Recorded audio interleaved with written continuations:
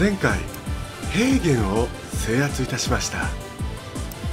そして馬食シャバカなどちょ突のお友達が2人増えました。あ金銭もいますね。今日の目標はこの総総量をぐるっと囲んで包囲占領。発生させたいと思います。兵糧2万8000兵士3000ソースの何死者これ何？カンカーンはだからベガスに行ったっつってのしつこいな。忘れないですね。ほんと忘れないのはね恋心だけで十分ですよ。